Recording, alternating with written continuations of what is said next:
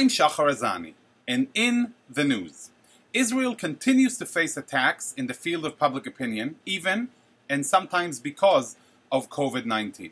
The last few months have been tough on all of us, from COVID 19 to riots and protests, which swept many all across the US. Israel and anti Semitism seem to have taken center stage.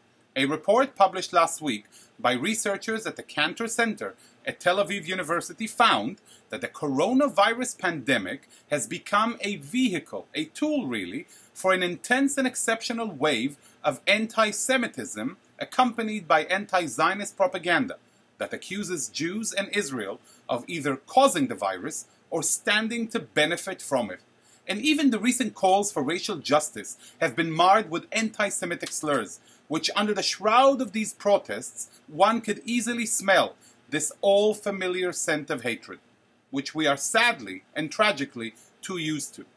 Two weeks ago, thousands took to the streets in Paris, France, to demonstrate against racism and police brutality, an event which teemed with anti Israel and anti Semitic slogans with signs that read Israel, laboratory of police violence, as well as racial slurs such as dirty Jews alongside Palestinian flags. Which brings me to today's segment, featuring someone very special who stands tall to defend Israel on world stage. Together, Vouch for Each Other is an Israeli not-for-profit organization founded in 2018 by a group of young Israeli Arabs, Christians, Muslims, Bedouin and Druze, who felt determined to bring about change in the Israeli Arab society, feeling that this segment of Israeli society had taken a negative turn vis-a-vis the state of Israel, and this did not reflect how they view Israel and their feelings towards the country. The founders of Together Vouch for Each Other have taken it upon themselves to take a stand, to lead Israeli Arab society towards a positive stance towards their homeland and to bring about further integration of Arab Israeli society with Israeli society at large.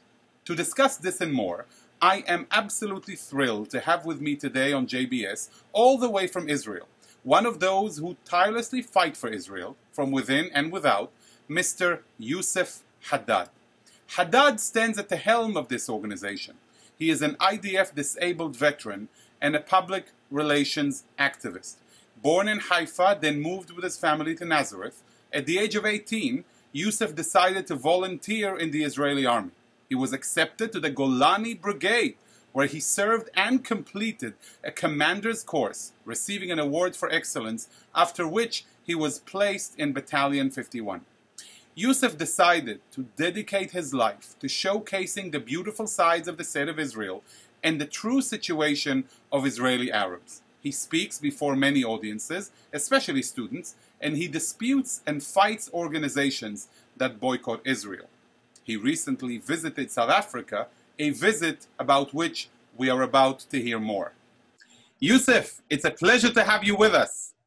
Thank you. Pleasure being with you guys. Thank you very much. First of all, let me ask you um, in your bio, it's mentioned that you're a disabled IDF veteran. Tell us a little bit about your service in the IDF. First of all, how come? It's a well known fact that not many Arab Israelis joined the IDF. What drove you to join the IDF? Well, to be honest with you, to answer this question, I really need to go back to where I was born. And I was born in Haifa, and also I was raised in Nazareth. Now, Haifa is the biggest mixed city in Israel and Nazareth is the biggest Arabic city in Israel. Right. Now, surrounding Nazareth, we have today what's it called Nof HaGalil, but before that it was Nazareth Illit and Afula and Migdal Emek. And in Haifa, the biggest mixed city, I had Jewish friends, Druze friends, Muslim friends, and Christian friends. And this is how I grew up. I grew up uh, playing football, by the way, with my friends, not really caring if you are a Jewish or a Christian or a Muslim or a Druze. We were all together. Uh, and the, the common thing between us that we love football, but we also uh, Israelis. Uh, so that's how we grew up. And when I arrived at the age of 18, uh, my Druze friend and the Jewish friends, they got uh, their first order to go and to serve in the army, but I didn't get it. Now I asked the question, and you know, to be honest with you, I know the answer, but still, I and I asked the question, why?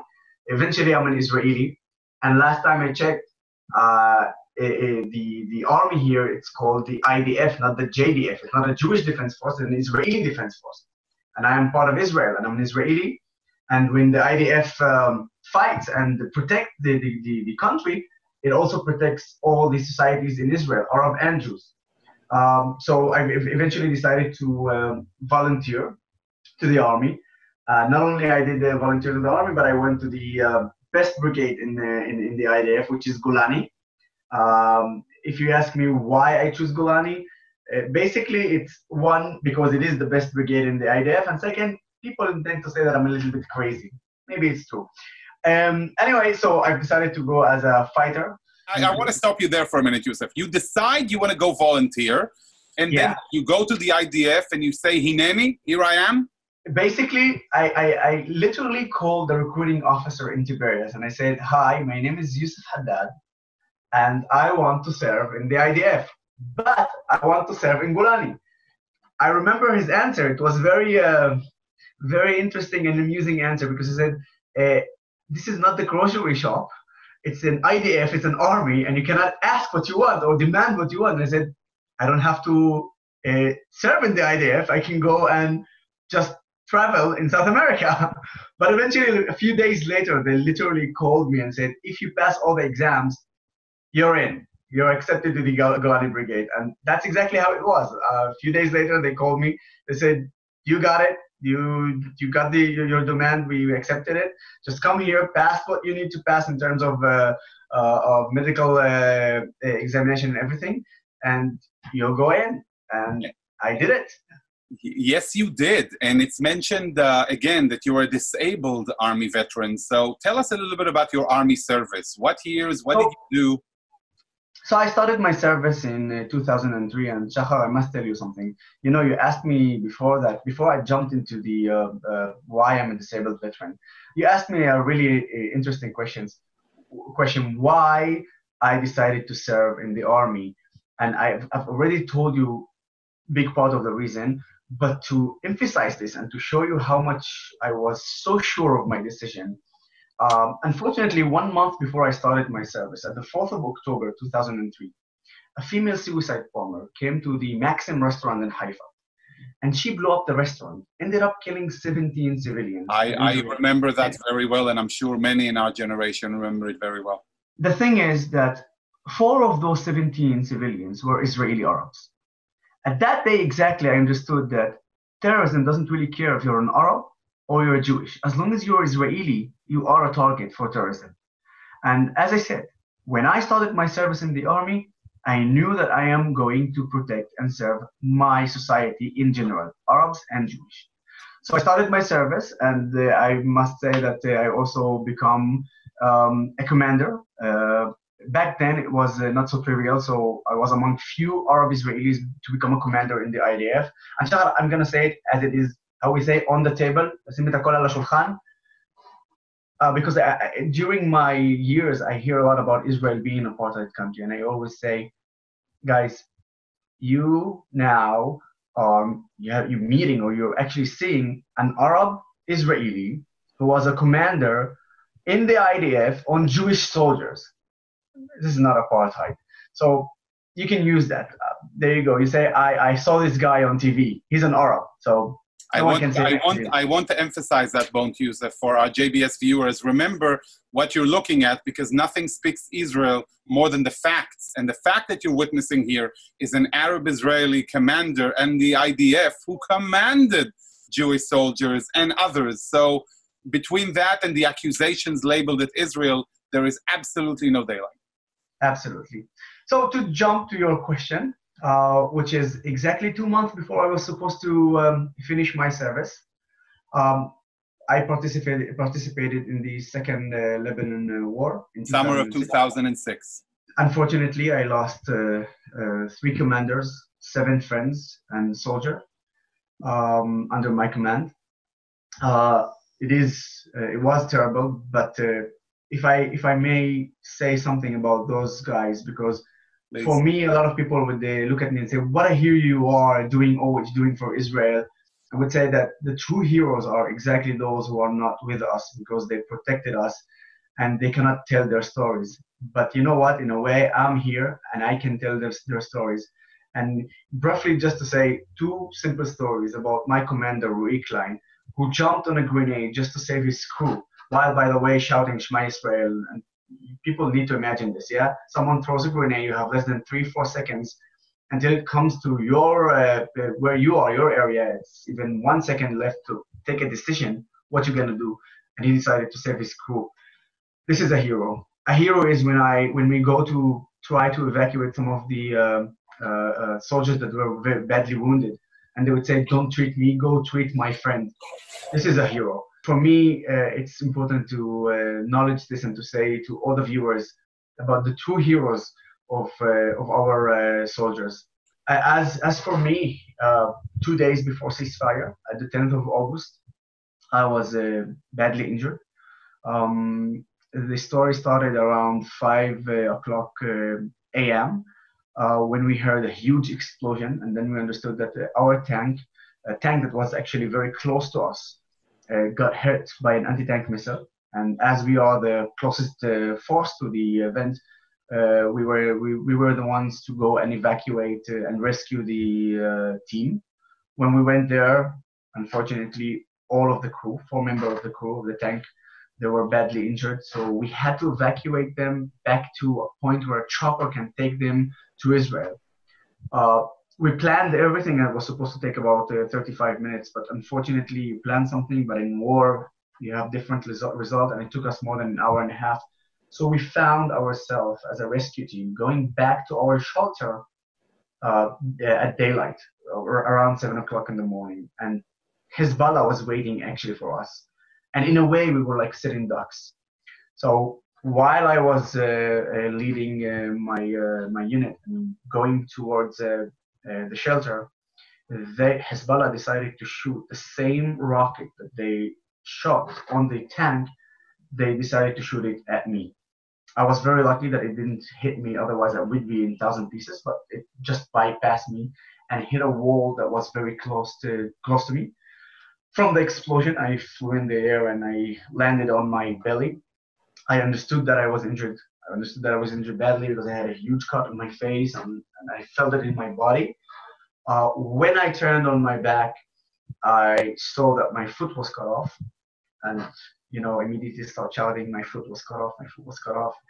I was very uh, fortunate that my unit immediately uh, rescued me and they gave me the first uh, treatment and from there uh, they rescued me to a point where a chopper can take me back to the to the hospital to Israel. And even though, or actually while they're rescuing Hezbollah was waiting. So they while we're doing the rescue, I was on a stretcher, uh, and Hezbollah is shooting RPGs and shooting at us. But eventually, um, the team managed to bring me safe to a chopper, and from there to uh, a hospital. And then um, from there, one year of rehabilitation until uh, I got back on my feet again. Wow. Well, first of all, we're all very happy that you're with us today, and thank you for your service for the state of Israel and for mm-hmm. the people of Israel. I have to ask you, you're a very unusual character in the Israeli landscape. And I, would love to know, as I'm sure all of our viewers would love to know, what kind of reactions are you getting for your work and activity, both within Israel and within Israeli Arab society, and more interestingly, in the general landscape of, you know, globally and the Arab world?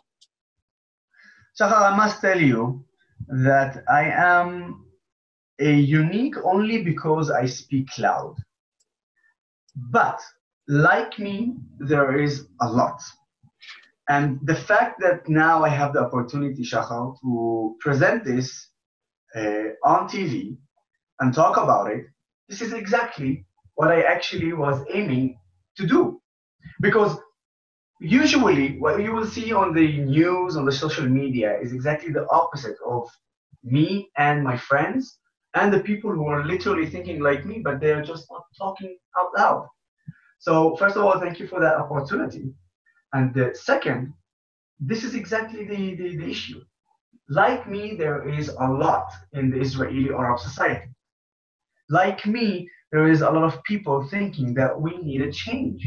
But unfortunately, the extremists from both sides are right now controlling, and they are the minority. They are the minority. but they are louder, they are more violent, more extreme, and that's why right now they are controlling.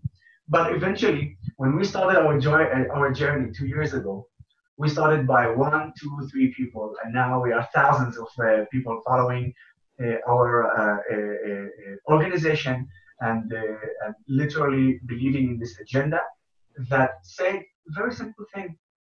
We live in Israel, and as an Israeli Arabs, we should be part of the Israeli society to be more integrated, to influence and affect actually uh, our society and the, in the country, to be in higher position, and literally to say that, hey, we are Israeli Arabs. We are proud of being Arabs. We are proud of being Israelis. And more and more people are joining our, uh, our organization, and we are very happy about that. And this is something that um, it's amazing because when you almost start from something that you don't really know um, how it will develop, and you will see right now that what you believe in, it's actually happening. That's a big and huge uh, news for us. So the comments are very uh, positive. Obviously, obviously there is bad comments, and uh, I'm not gonna lie to you. I do get threats, but the threats that I get, it's from the same group of extremists that for them we are some sort of uh, um, uh, you know we, we, we threat them. We are a threat on them because we are finally breaking the chain of what they always fed us. And that's why they're afraid. that's why they attack do you feel um, sometimes that you're risking your life doing what you do it's not about being afraid or not. I am careful. I am careful. Um, but uh, i really see the bigger picture here. And I believe, first of all, that uh, if there is some sort of a, uh, an actual threat, that the Israeli police will take care of it. Um, and I do believe that uh, when I see the surrounding around me, the people that surround me, uh, and the, that, that, the fact that there are more and more people are joining, um, I feel more secure and uh, confident continuing uh, our journey. Oh, you are you are definitely a positive force within Israeli society. I want to ask you about the uh, the Arab world in general. Have they heard about your activity? They must have seen you on TV speaking for Israel, maybe on your visits uh, abroad. What kind of reactions are you getting there, especially being able to converse with them in Arabic? So, Shaha, one of the most amazing things that I can tell you about is I did actually um, a short video uh, Uh, with the uh, foreign ministry uh, they have this uh, uh, small uh, department that's called the Arabic uh, Digital Department, and and they are quite amazing. So we did this video together, and it became viral around the Arab world. More than I think millions of views in terms of or in, on Facebook and you know, YouTube and Instagram and Twitter. And um, and I've actually talked about myself and about my uh, city, Nazareth, the biggest Arabic city in, uh, in, Israel, and about the coexistence between uh, Jews and Arabs and how they work together, uh, hospitals and the, the, the, fire departments, police, and, and, and, and just daily uh, uh, life together. And as I said, it become really viral, viral video. And um, since that video was published, I I got thousands of messages from people from Gaza, from Jordan, Lebanon, Syria. And what are they telling you, Yusuf? What are they telling you? Most of the uh, messages were, first of all, we had no idea, no idea that this is the reality in Israel. The second, can you help us come to Israel? We want to visit Israel now. That's like the more, most of them. Some of them, by the way, would say, please help us get an Israeli identity. this is how huge it was because they know that Israel is the only democratic state in the Middle East. They know that. But they don't have a literally proof for that. And finally, they, they, they, they saw a video and it was really crazy because they, they literally saw something visual to them and not just by saying and hearing about it all the time. But you know what? I'll give you one more example. This was even crazy for me. Uh, someone from Gaza. Now, you must understand that the internet in Gaza is restricted. So Hamas controls uh, um, the, the, the, the, even when you go and search, Google search, they control it because they restrict you. And uh, when that when that video became viral, because the, the, the Arab world shared it, it actually sort of passed the uh, restrictions of, of Hamas, and somehow it actually ended up also for uh, to see to be seen by Gaza uh, people in Gaza. And he said, you know what? I'm probably less than 100 kilometers away from you, and right now you opened my eyes. Like the, the person from Gaza who texted me, he said, right now you opened my eyes, but I didn't thought that you can actually vote. I said, not only we, we can vote, we have member in the Knesset, Arab member in the Knesset. And said, I, I, we, did, we don't know that. We, we think that you're living under an apartheid regime, and they are even referring not just to the Palestinians in, in, in the West Bank, they are referring to the Israeli Arabs living in Israel, in Nazareth, in Shfamir, in, in even the, the, the mixed cities like Haifa and Akko and Lud and Ramle. So, so, so for, for this guy, it was a new information that I revealed to him, that we revealed to, to him. Uh, and I'm sure we did that uh, among others. That's why it's so vital and important to do what we're doing, and we are going to keep doing it. Uh, in, I, in, South America, in America, and South Africa, all over. So, so let me. That leads me to my next question, because not only do you keep on doing it internally and externally, you during COVID nineteen, you decided to travel to South Africa and speak up for Israel. Share with us a little bit about that visit. Literally before COVID nineteen started here in Israel, um, I had the opportunity uh, to fly to South Africa during the, the BDS apartheid uh, week. Mm. Um, and, and, and, and actually, I was the only one from Israel, as a representative from Israel, that managed to fly and arrive to uh, South Africa. People over there in the Jewish community, they call me the lonely soldier. I got a lot of uh, nicknames, but uh, this one uh, was really interesting. Literally, literally I was literally I was in front of the line against the BDS yeah. and by myself. But An you know army, what? Army of one. Yep. An army of one. But I promise you that um, uh, me and uh, the students uh, from the Jewish community, as well from the pro-Israeli students community, we, we did an amazing uh, job and one of the most amazing things that I, I had a debate live uh, on, on, on, on, the main uh, TV station uh, in, in, South Africa. Uh, and it was live debate with the BDS leader, um, uh, Muhammad Desai. with all humble, I say that I say it, but I totally crushed him. And it was easy for me because I literally had just to say the truth. and I knew that he was going to lie. So you know, lying on, on, on, lying on TV, on national TV and live TV, it was uh, such a dumb act from him, especially when Israeli Arab uh, sitting just next to him. Yeah, were, not they surprised, Yusuf? Suddenly, all of their all of their stigmas shattered because they're sitting not with an Israeli Jew, but with an Israeli Arab, supposedly. And, so and the, supposedly, the thing is, yep. The thing is, they didn't know how to handle it. Exactly. They didn't really know how to handle it, and I brought something a bit different. Because in terms of Hasbara, in terms of how we go and talk about Israel, uh, in our organization, Together Vouch Each Other, we have uh, uh, uh, specific tactics that we, uh, we, we do.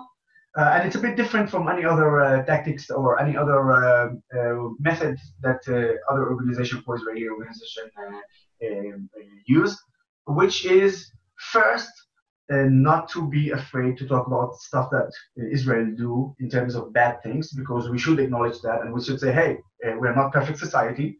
If, if you ask me if we have racism here, yes, we have racism. But on the other hand, show me one society that you don't have racism, unfortunately. And second, and which is this is the most important one, we need to stop apologizing, and we need to attack back defending and apologizing it's actually literally giving uh, giving them the opportunity to attack us more and uh, maybe even in a way to agree with that uh, system. So we stopped doing that and we said we are going to attack back and when there's a liar we're going to show it uh, immediately not waiting for him to finish his lie. And this is part of what happened on the uh, on the interview during the interview. He stopped lying i immediately cut him. I didn't wait for him to finish his uh, his lie and obviously, I attacked back uh, by exposing more lies and more activities that they, they did. Uh, the, um, the, the effect of that interview was huge. Because Shaha, just a few minutes after the interview, one of the um, uh, uh, uh of the extremist political parties in South Africa, they called the EFF, they reach out to the Jewish community and ask specifically that I come and speak to them. Now, just to give you a brief, huh? That's very the leader, the leader of the EFF, the nickname of this of their leader is the South African Hitler. That's their nickname. That's his nickname. Just to let you know to understand how anti-Israeli they are and how they are misled uh, and brainwashed by BDS and more uh, active, uh, anti-Israeli activists. So they specifically requested me to come and speak to them. I drove from Johannesburg into this poor area, uh, 50 minutes out of Johannesburg, only to meet the EFF uh, members, political members. At the end of that talk, one of the members, he looked at me and he said, I didn't know anything. This is the first time you exposed this to us. Uh, in an instant, I had an Israeli flag with me in my pocket. I just took it and said, "Now that now it's the time for you to take a photo with me with the Israeli flag," and we did that. I have this photo uh, with the members of the EFF, uh, and we are taking a photo with just an anti-Israeli political party, and they're having a photo with the Israeli flag. So this was uh, crazy quite incredible. Uh, now we have a very short time left, so let me ask you very quickly two quick questions. One is there is a discussion about serving in the IDF and the, what we call the National Public Service. You yeah. are talking about a movement within Arab Israeli society. What do you think about the two options? Well, first of all, as an IDF uh, uh, veteran, I would say that any Israeli Arabs who want to uh, volunteer to the IDF, we will support but as an organization, we are calling to volunteer to the national uh, service because we believe this is actually how we say in the middle line. This is this is exactly the um, uh, the solution because our motto is to serve the country and at the same time serving your community. You can do it in schools, you can do it in in, in, in uh, hospitals, police department, fire departments, and this actually gives you a really good solution to serve the country and still stay in the community and serve your community. So we are rooting for that, and that's our aim. And uh, Shachar, to give you a small, small statistic um, uh, about it, in a year there is 18,000 volunteers. 5,500 of them are Israeli Arabs. Most of them are coming from the Muslim community yearly. So every year there's 5,500, and we're aiming to grow this number more and more from year to year. I just want to echo what uh, your message, Yusuf, and say that even though your work is unbelievable and you are doing so much, it's important for everyone to do their share to bring together Israeli society as one. I can tell you that I myself decided um, myself and a couple of others to take Arabic in high school because being part of Israel and recognizing the fact that so many of Israel's citizens are Arabs, it's super important for us to be able to understand each other and be part of Israeli society as a whole. And having you in the minds of all of our viewers who want to stand up not for Israel, but for the truth, for justice, and to making things right in the world, are proud uh, to have you. on. thank you so much for joining us. Thank you for your service.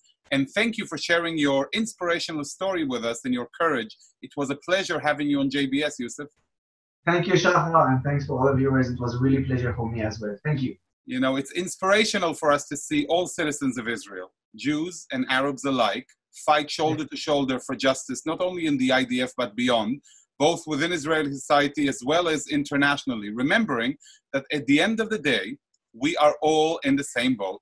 We are all in this together. And together is the only way we can win, evolve, and prosper. I'd like to thank all of you for watching. And to all I said, stay safe. Thank you. Stay safe, stay healthy.